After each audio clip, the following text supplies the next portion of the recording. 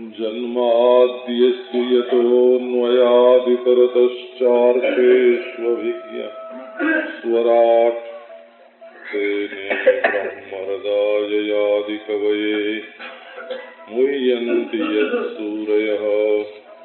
तेजो वारिमृदाम्।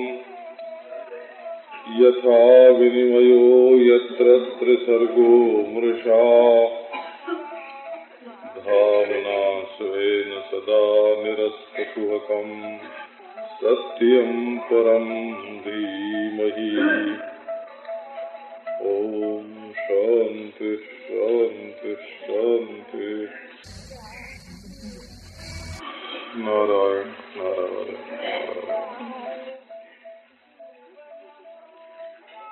अब श्रीमद भागवत की थोड़ी चर्चा। उपनिषद की चर्चा तो आप सुन चुके अवधूत जी महाराज ने जो उपनिषद का तात्पर्य बताया, वस्तुतः उपनिषदों का परम तात्पर्य परम अभिप्राय वही है श्रीमद भागवत को भी भागवत में वेदों का सार ही कहा गया है। एक जगह शब्द आता है अखिल श्रुति सारम, यस्वानुभावम अखिल श्रुति सारमेकम अध्यात्म दीपम अतिथीरखताम तमोन्धम संसारिणाम करुणया पुराण गुह्यम तम व्यास सून मुपयामी गुरु मुनीनाम। श्रीमद भागवत अखिल श्रुति सार है। अभी श्रुति के पहले अखिल जो लगा दिया ना इससे ये निकला कि कर्म प्रतिपादक, उपासना प्रतिपादक ब्रह्म विद्या प्रतिपादक और इन तीनों के द्वारा जो साध्य धर्मानुष्ठान का फल उपासना अनुष्ठान का फल और ब्रह्म विद्या का फल, अविद्या की निवृत्ति, आवरण मंग, सबका वर्णन श्रीमद भागवत में है। तो अखिल श्रुति सार है। एक स्थान पर श्रीमद भागवत में कहा गया कि सर्व वेदांत सारम यद ब्रह्मात्मकत्व लक्षणम वस्तु द्वितीय तनिष्ठम कैवल्यक प्रयोजनम जो संपूर्ण वेदांतों का सार वो सार क्या है? अद्वितीय वस्तु अद्वितीय वस्तु ही संपूर्ण वेदांतों का सार बोले कार्य कारण भाव से ऐक्य होवे, आधार आधे भाव से ऐक्य होवे, विशेषण विशेष भाव से ऐक्य होवे, प्रेरक प्रेर्य भाव से ऐक्य होवे। तो बताया वहाँ ब्रह्मात्मकत्व लक्षणम अद्वितीय वस्तु। ब्रह्म और आत्मा की एकता ही है लक्षण जिसका ऐसी सर्व वेदांत सार अद्वितीय वस्तु का श्रीमद भागवत में निरूपण है। प्रयोजन में कोई संदेह है तो स्वयं कह दिया कैवल्य एक प्रयोजनम एकमात्र कैवल्य ही इसका प्रयोजन है। तो ये श्रीमद भागवत तत्व दृष्टि से तो ब्रह्म ही, परमात्मा ही, भगवान ही, संपूर्ण वेद वेदांत का प्रतिपाद्य है। परंतु वांग्मय की दृष्टि से देखें शब्द राशि की दृष्टि से देखें ये श्रीमद भागवत ही वेदों का प्रतिपाद्य है। एक विलक्षण बात निकलती है श्रीमद भागवत के स्वाध्याय से। निगम कल्प तरोर्गलितम फलम मुखादमृत द्रव संयुतम पिबत भागवतम रसमालयम। मुहुरहो रसिका भुवि भावुका निगम अखिल श्रुति सर्व वेद वेदांत ये है कल्प वृक्ष और वृक्ष की जो परिणति है, वो फल पर्यंत है। कोई भी अंकुर होगा उसमें पत्र आवेंगे तना उसका बढ़ेगा, पुष्प होगा होगा, उसमें पुष्प लगेगा, पल्लव होगा, पुष्प होगा, अंत तो गतवा उसमें फल लगेगा।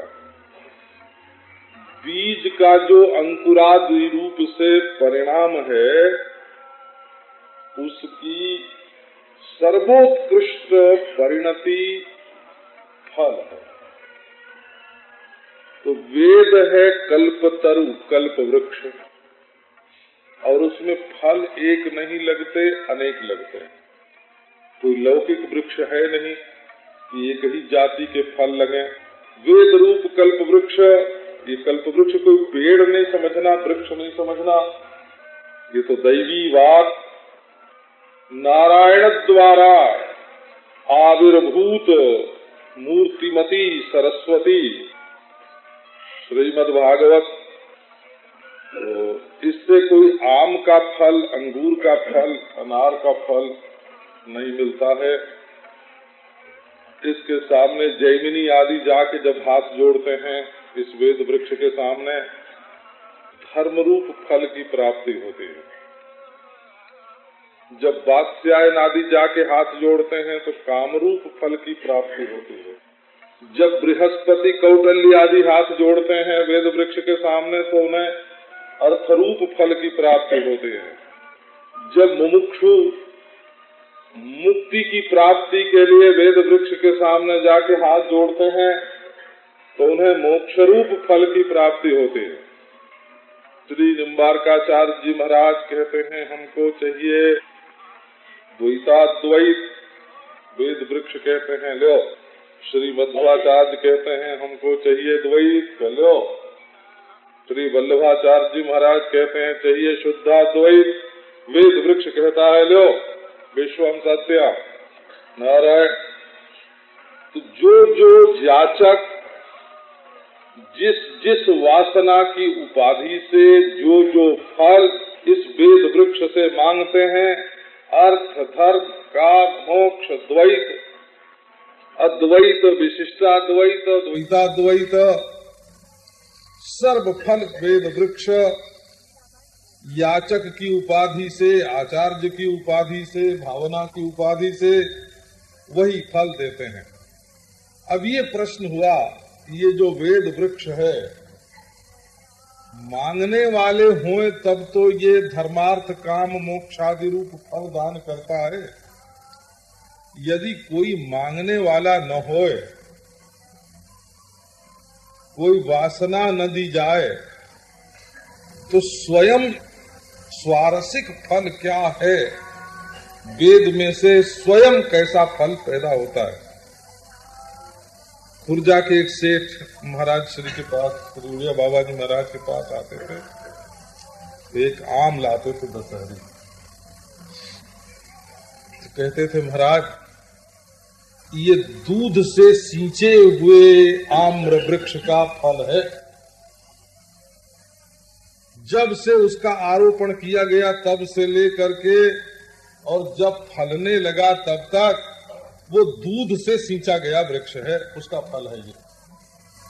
तो जब उसको हम लोग खाते तो उसमें आम में जैसे दूध मिलाया हो, ऐसा स्वाद आता। अब वहाँ आम का जो रस है, वो दुग्धोपाधिक होने से शुद्ध आम का रस नहीं रहा ना, दुग्ध दुग्ध मिश्रित हो गया है। ऐसे अपना अपना भाव लेकर के जब लोग वेद पढ़ते हैं, तब उसमें से अपनी अपनी भावना के अनुरूप फल की प्राप्ति होती है। ज़मीन कैसी है और खाद कैसी है और नारायण, वहाँ का जलवायु कैसा है, सबका प्रभाव पड़ता है। और शुद्ध अंतकरण हो करके नारायण, शुद्ध अंतकरण कोई हो गए निर्वासन। तो वेद रूप कल्प वृक्ष उसको क्या फल देता है? बिना मांगे, बिना जांचे, बिना प्रयत्न किए क्या फल देता है? निगम कल्प तरोर गलितम फलम। गलितम, अपने आप ही तप से टपक पड़ा। ये कोई पेड़ नहीं है, ये वेद है। माने वेद का वासनोपाधिक फल नहीं, निरुपाधिक फल। जाचकादि सापेक्ष फल नहीं, जाचकादि निरपेक्ष फल। गलिताम फलम अपने आप ही गलित है। गलित है माने गिर पड़ा, अपने आप ही टपक पड़ा, ये जो और फलम है, अर्थात वेद कल्प तरु की सर्वोत्कृष्ट परिणति है।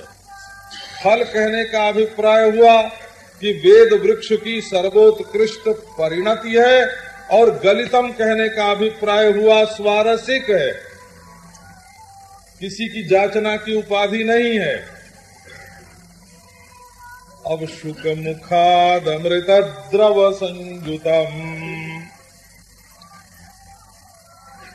इसका अभिप्राय यही निकला कि यदि आप सत्य को जानना चाहते हैं, तत्व का साक्षात्कार करना चाहते हैं तो जैसा अवधूत जी महाराज ने कहा, अंतकरण शुद्ध होना चाहिए। वासनावत अंतकरण में तत्व का शुद्ध प्रकाश नहीं होता श्रीमद भागवत में आया है, न चकास्ति साधु। कर्मवाद से कर्मवाद से आक्रांत जिसका अंतकरण है, उसमें तत्ववाद भली भांति प्रकट नहीं होता। तो अब एक बात। और कि लोग अध्ययन करते हैं तो थोड़ा गुरु से अध्ययन करते हैं, थोड़ा अपना मिला देते हैं। स्वयं सूत जी ने कहा, यथा बीतम यथामति जी कहते हैं कि मैंने जैसा गुरुमुख से अध्ययन किया और जैसा समझा, अध्ययन गुरुमुख से हुआ और मति से समझा। और दोनों को मिला करके बोल रहा हूँ। सूत वचन है। सूत वचन में और सुख वचन में अंतर क्या है? सूत वचन में और सुख वचन में यही अंतर है कि सूत वचन में गुरु वचन और अपनी बुद्धि दोनों मिली हुई है। और सुख वचन में केवल गुरु वचन ही है, अपनी बुद्धि नहीं है। आप देखो शुक जिसको कहते हैं ना तोता वो जैसा दूसरे से सुनता है सीखता है उसको ज्यो का त्यों सुना देता है उसमें अपनी ओर से कुछ जोड़ता नहीं। सुख मुखात जैसा नारायण से ब्रह्मा ने ब्रह्मा से नारद ने नारद से व्यास ने व्यास से सुख ने श्रवण किया उसमें अपनी बुद्धि की कोई बात सुखदेव जी ने नहीं मिलाई। गुरु परंपरा से प्राप्त अत्युर्जित अत्युज्वल निर्मल, जो ज्ञान है, उसी ज्ञान का उपदेश किया। वही वांग्मय है ये तुक मुखा अतएव अमृत द्रव संजुदा इसलिए है इसमें अमृत द्रव अमृत द्रव का क्या अभिप्राय है? एक अमृत होता है, मध्यमान समुद्र से उत्पन्न होता है। प्रयत्न जन्य। प्रयत्न जन्य हो। आधिदैविक प्रयत्न से जो स्वर्गादि में अमृत फल की प्राप्ति होती है, वो जीव प्रयत्न जन्य अमृत है। और ये जो हमको जौ में, गेहूँ में चने में और अंगूर में, अनार में ये जो ये जो अमृत प्राप्त होता है, ये कर्मजन्य अमृत है। और ईश्वर की कृपा से जिस अमृत की प्राप्ति होती है, वो जीव प्रयत्न जन्य अमृत नहीं है वो तो ईश्वर का ही अनुग्रह विशेष के कारण आविर्भाव विशेष है। भगवान ही प्रकट होता अमृत द्रव संजोता तो नारायण ही मानो श्रीमद् भागवत के रूप में वेद के परम तात्पर्य नारायण, वेद के परम तात्पर्य ब्रह्म वेद के परम तात्पर्य परमात्मा भगवान स्वयं ही श्रीमद् भागवत के रूप में प्रकट हुए हैं। भगवान और भागवत, भगवता प्रोक्तम भागवतम, एक व्युत्पत्ति ये है। और भगवान एवं भागवतम, ये दूसरी व्युत्पत्ति है। स्वयं भगवान ही, वेदों के परम तात्पर्य भगवान ही भागवत के रूप में प्रकट हुए हैं। अब श्रोताओं के लिए संबोधन है। रसिका भूवि भावुका भागवत के दो प्रकार के श्रोता होते हैं। आप अपना स्थान स्वयं ग्रहण करें। एक भावुक श्रोता और एक रसिक श्रोता। जो कल्याण कामी श्रोता है उसको भावुक बोलते हैं। माने जो भविष्य में श्रवण का फल चाहता है, वो भावुक श्रोता है। श्रवण करे और श्रवण का फल चाहे, वो भावुक श्रोता है। और जो श्रवण समकाल ही भागवत रसास्वादन में निमग्न हो जाए, वो रसिक श्रोता है। तो जिसको रसास्वाद तत्काल रसास्वाद प्राप्त हो वो रसिक श्रोता, और रसास्वादन के पूर्व की भावावस्था जिसको प्राप्त हो वो भावुक श्रोता। पहले भाव होता है विभाव अनुभाव, संचारी आदि के संयोग से, है ना? स्थायी भाव बन करके फिर रस की उत्पत्ति होती है। तो रस तो अंतिम वस्तु है, और भाव पहले है। तो श्रीमद भागवत में भावुक और रसिक करके दो प्रकार के श्रोताओं का वर्णन भागवत के मूल ग्रंथ में आता है। फूल में ही इसका प्रसंग है, कौन भावुक और कौन रसिक। जिनका मन कई जगह जाता हो, वो न भावुक न रसिक। और सूरय अधिपते खिल लोकमलक क्षपण कथा मृताब्धिमवगाह्य तपांसि जहु। किमुत पुनः स्वधाम विधुताशय काल गुणा परम भजंती ये पदमजस्र सुखानुभवम ये भावुक श्रोता का वर्णन। है ये जो श्रीमद भागवत रूप रसात्मक फल है, इसमें कहीं त्याज्य अंश नहीं है। रसात्मक फल कहने का अभिप्राय ये है कि इसमें गुठली नहीं है, इसमें छिलका नहीं है, इसके समास्वादन में दंतादि की भी आवश्यकता नहीं है। कुछ पेषण आदि की भी आवश्यकता नहीं है। तो बोले, ये रसात्मक रसात्मक फल है। और रसात्मक, फलात्मक क्यों कहा? कि केवल रस हो तो धरती पर बिखर जाए, विकीर्ण हो जाए, द्रवित हो जाए। बोले, ये गुठली, छिलका आदि त्याज्यांश से रहित केवल रस है और विकीर्ण होने वाला रस नहीं है, फलात्मक रस है और इससे श्रेष्ठ और कोई रस नहीं है। पर इसमें बात क्या है? तो बात इसमें यह है, अखिल मल क्षपण तथा मृताब्धिम अवगाह्य। तो श्री अवधूत जी महाराज चर्चा कर रहे थे, प्रतिबंध होता है अंतकरण में। अंतकरण में जो मलिनता है, यही प्रतिबंध है। तो कर्म वासना जो है, वो प्रतिबंध है। मन की चंचलता प्रतिबंध है। और परमात्मा को बुद्धि का विषय बनाने के लिए जो आग्रह विशेष है, वो भी प्रतिबंध है। हमारे मित्र हैं, उनसे किसी ने पूछा ईश्वर का अनुभव होगा तो बुद्धि से ही होगा। बिना बुद्धि के क्या अनुभव होगा? बुद्धि से परे क्या है? अरे भाई, बुद्धि से परे अनुभव है।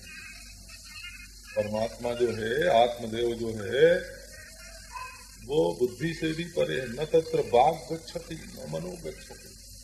न विदमो, न बिजानी महा। न विदमो, न बिजानी मह से बुद्धि का ही निषेध है। बुद्धि का वहाँ। अभिज्ञातम विजानताम, विज्ञातम अभिजानताम। श्रुति कहती है तो मलक क्षपण देखो।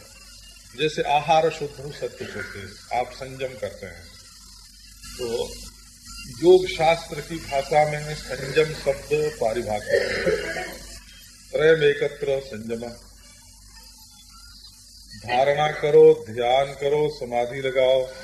तीनों जब एक ही लक्ष्य में हो गए उसी लक्ष्य की धारणा, उसी लक्ष्य में ध्यान और उसी लक्ष्य में समाधि। ध्यान की प्रधानता से धारणा होती है और ग्राह्य वस्तु की प्रधानता से ध्यान होता है, लक्ष्य वस्तु की प्रधानता से। तो वृत्ति जो है, वो एक क्षण का भी उल्लंघन किए बिना प्रतिक्षण उसी विषय को काल प्रधान ध्यान हुआ, ऐसे करें और जब उस वस्तु के साथ अभेद हुआ, तब समाधि हुई। तो त्रय में एकत्र संजमा। वो वस्तु ऐसी होनी चाहिए जो आपकी धारणा का विषय हो। देश बंध चित्त से धारणा। तत्रैकतानता ध्यान तो ये जो आप संयम कर रहे हैं संयम कर रहे हैं, इसका फल क्या है? आहार शुद्ध सत्व शुद्धि सत्व शुद्ध ध्रुवा स्मृति। आहार आपका शुद्ध होए तो आहार माने आँख से जो आप देखते हैं, कान से सुनते हैं, नाक से सुनते हैं, जीभ से स्वाद लेते हैं, त्वचा से स्पर्श करते हैं, मन से संकल्प करते हैं, इस आहार की शुद्धि होवे। माने संपूर्ण इंद्रियों और मन के विषय एकमात्र भगवान ही होंगे। यही आहार शुद्धि हुई। गौड़ेश्वर संप्रदाय में तो बड़े प्रेम से ये बात कहते हैं, ऋषिकेण ऋषिकेश सेवनम भक्तिरुत्तमा। अपनी इंद्रियों के द्वारा भगवान का सेवन करो, ऋषिकेण ऋषिकेश सेवनम भक्तिरुत्तमा। आँख से भगवान को देखो, त्वचा से भगवान को छुओ, नाक से भगवान को सुनो जीव से भगवान का स्वाद लो। और मन से वृत्ति को भगवदाकार कर दो यही आहार शुद्धि यही संयम है। तो इसमें अमुक चीज़ नहीं, अमुक चीज़ नहीं, अमुक चीज़ नहीं। वो इंद्रियों के और मन के विषय को कम करने की, कम करने की एक पद्धति है। कूड़ा करके दाए मन में वो दूर हो जाए, भगवान का आविर्भाव हो। जब हम चाहते हैं कि हमारे घर में कोई बड़ा आदमी आके रहे तो घर में पवित्रता, स्वच्छता रखते हैं। स्वच्छ घर में ही भले लोगों को ठहराते हैं। तो यदि भगवान को अपने हृदय में बुला करके बैठाना है तो हृदय स्वच्छ होना चाहिए। हृदय स्वच्छ होवे कैसे? ये कहते हैं कथा कथामृताब्धिम अवगाह आओ, हम तुमको एक ऐसा स्नान बताते हैं। स्नान, अवगाहन। कि इस समुद्र में डुबकी लगाओ और तुम्हारा हृदय पवित्र हो जाए। आपके पास कोई ऐसा बाह्य जल नहीं है। बाहर कोई ऐसा जल आपके पास नल का, कुएँ का कोई नहीं है, जिसको आप, जिससे स्नान करके अपना हृदय शुद्ध कर रहे हृदय में जब हम वर्णन करते हैं तो ये देखो जमुना जी बह रही हैं, मंद मंथर गति से। श्याम श्याम। तरल तरल। इनकी तरंग दिखाई पड़ रही है। ये श्री गिरिराज से ऊँचा उठाए खड़े हैं। ये वृंदावन है। कई ये हरिन चौकड़ी भर रहे हैं। कई गौए चल रही हैं। कई ये बालक खेल रहे हैं। इनके बीच में ये मुरली मनोहर पीताम्बरधारी श्याम सुंदर, मंद मंद मुस्कुराते हुए पीताम्बर फहराते हुए, ये प्रेम भरी दृष्टि से देखते हुए ये आ रहे हैं हमारे सामने। श्री कृष्ण, उस समय क्या होता है? सारी जो मैल भरी हुई है दिल में, वो छूट जाती है, न जाने कहा, वृत्ति भगवदाकार हो जाती है। तो हमारे चित्त की वृत्ति, स्त्री आकार को छोड़कर, पुत्र आकार को छोड़कर धनाकार को छोड़कर, देहाकार को छोड़ करके श्री कृष्णाकार हो जाते हैं। तो अखिल मन क्षपण कथा मृताभिम अवगाह्य हमारे, ये श्रीमद भागवत का श्लोक है, वेद स्तुति में। इति तव सूर्यस्त्रधिपते अखिल लोक मल क्षपण कथा मृताब्धिम अवगाह्य। तपांसी जहो। बृहद उपलब्ध वेत दवयंत अवशेषतया आप जो देख रहे हैं क्या है? ये वृंदावन की रज क्या है? ये वृंदावन का वृक्ष क्या है? ये वृंदावन की लता क्या है? ये वृंदावन की स्त्री पुरुष क्या है? ये वृंदावन के मंदिर, ये वृंदावन की जमुना, ये वृंदावन के पशु पक्षी।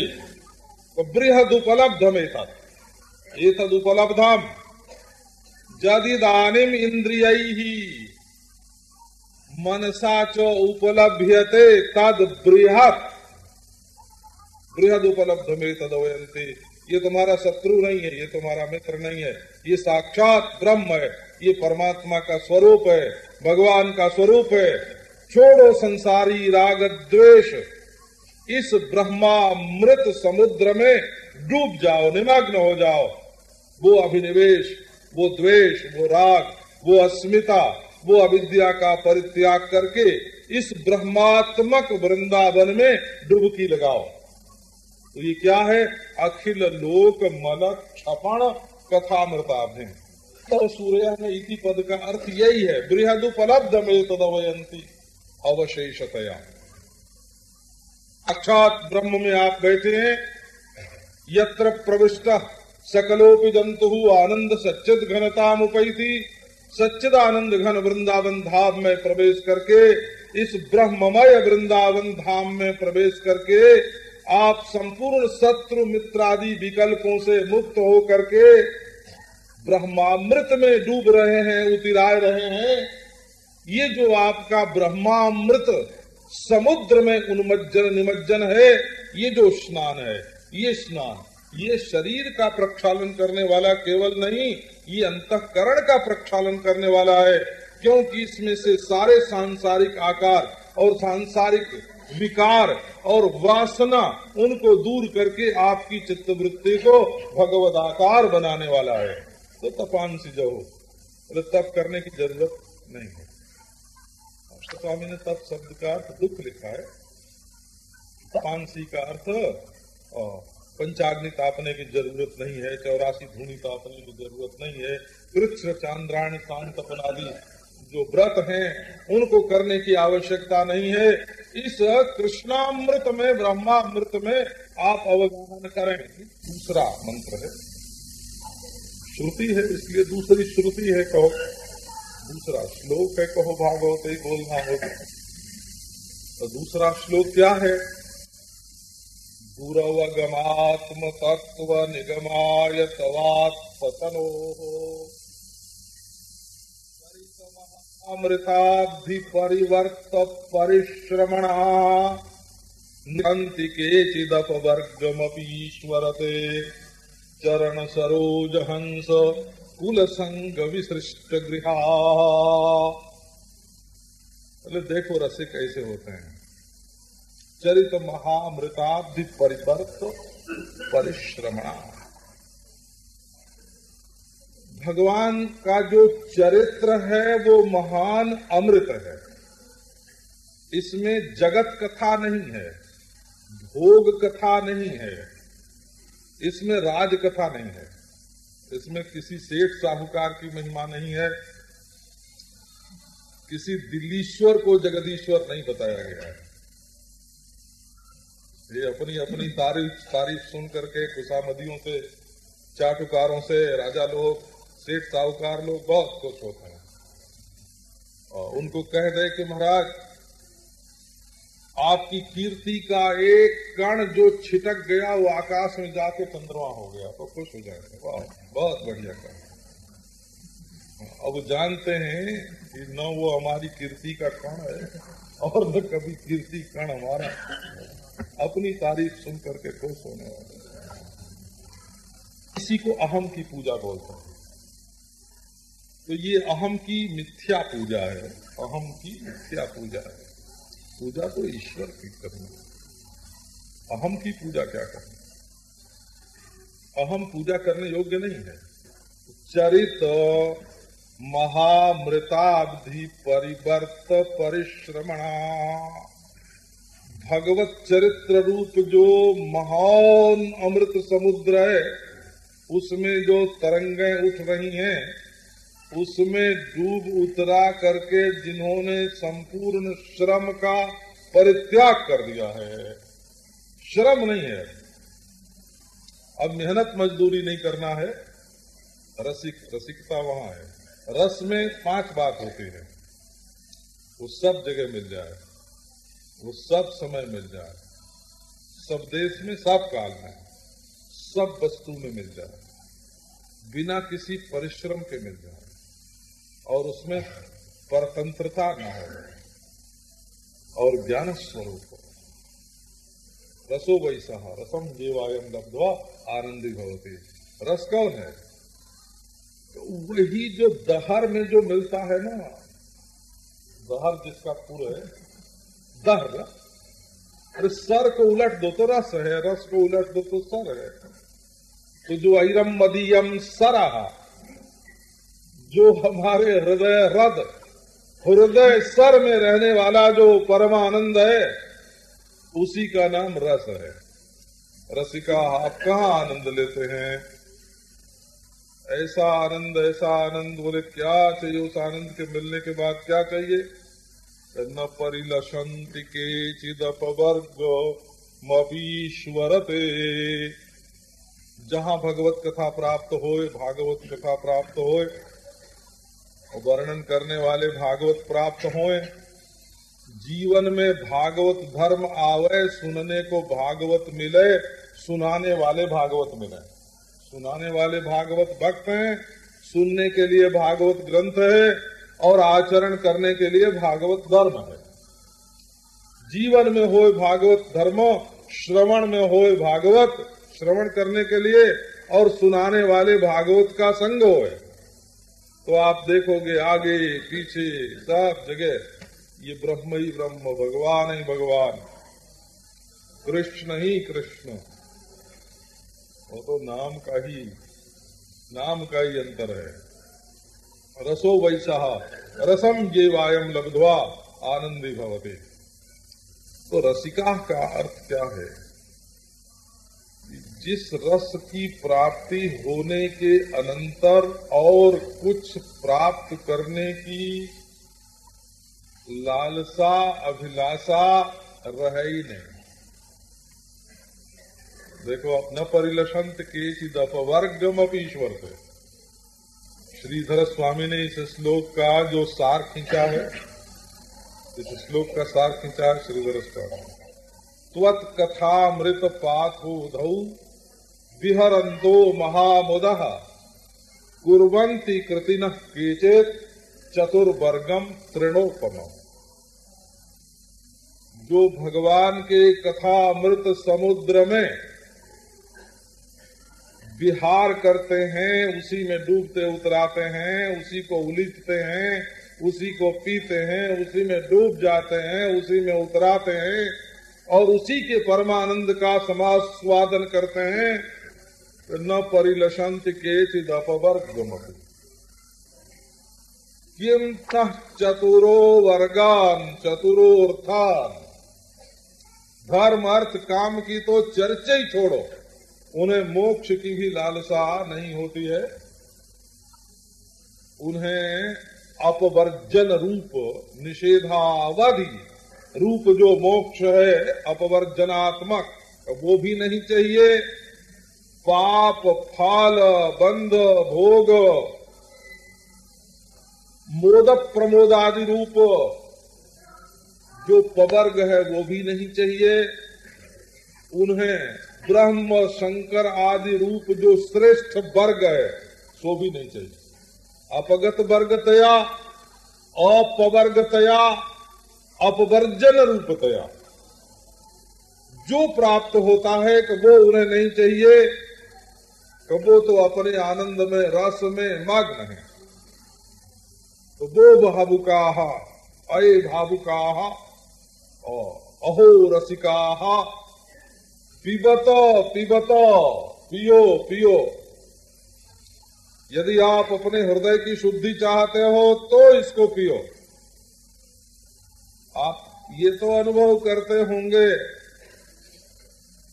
बहुत सारे यज्ञ जाग आदि किए, बहुत सारे देवी देवता की उपासना की, बहुत सारे योगाभ्यास किए।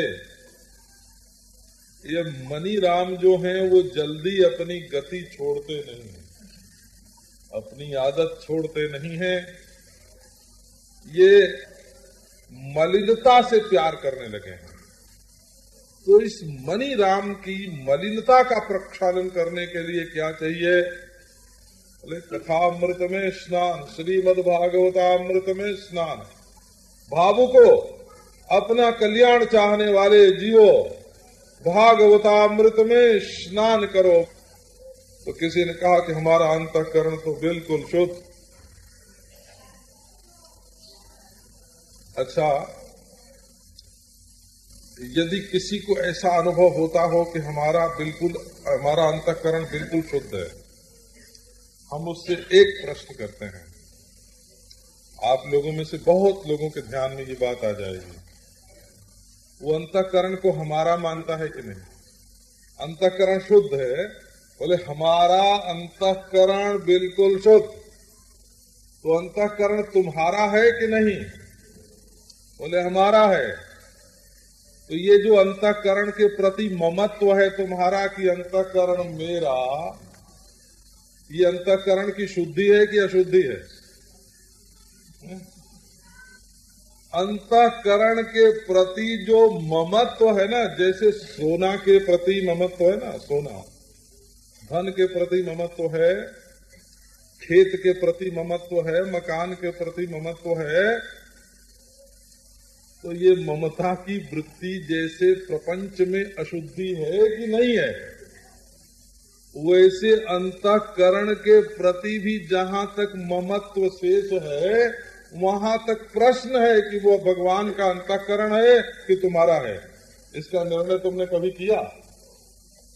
प्रपन्न हुए, शरणागत हुए। जब अंतकरण के मालिक तुम तो तुम और अंतकरण दोनों भगवान के प्रति अर्पित हैं कि नहीं है?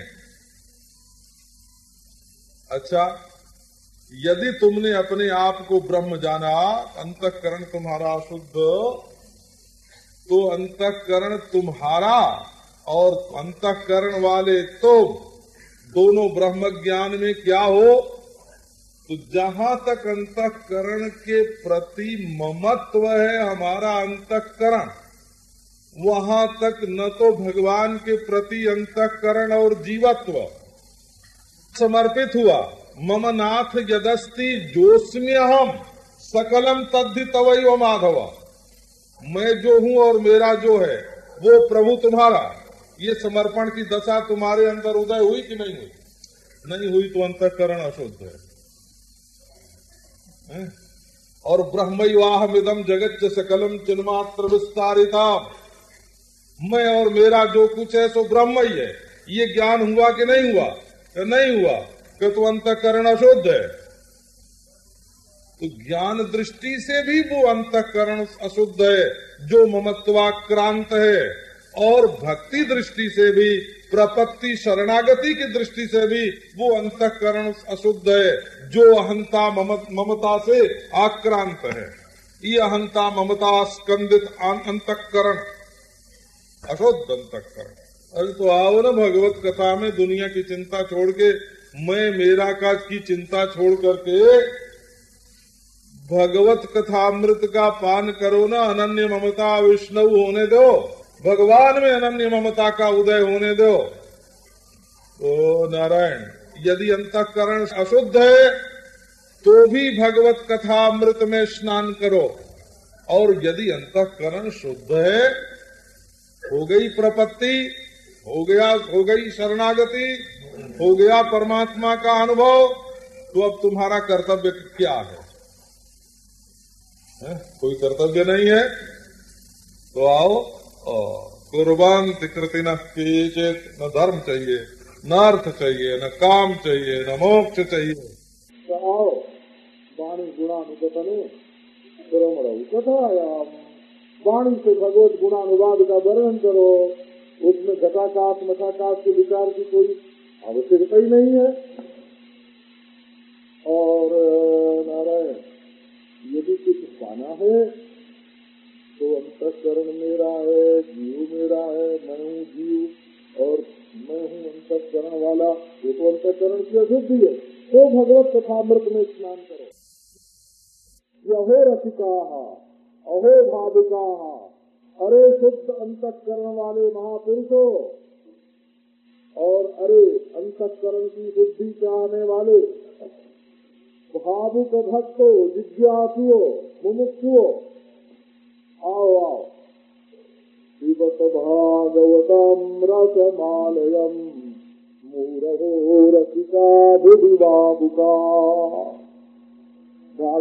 रसम पिबत आलयम पिबत जब तक पीते पीते मूर्खा न हो जाए, तब तक आलय लयम अभिज्ञा जब तक लय दशा न प्राप्त हो जाए उसमें जाए यहाँ का अर्थ मूर्खा सांसारिक तो होती नहीं है भगवदाकार वृत्ति में तन्मयता भगवान में तन्मयता तो जब तक न हो जाए, तब तक पियो लय यदि मृत्यु ही माने, वैसे भगवत कथा में मृत्यु नहीं है। ये श्रीमद भागवत की भी प्रतिज्ञा है ना।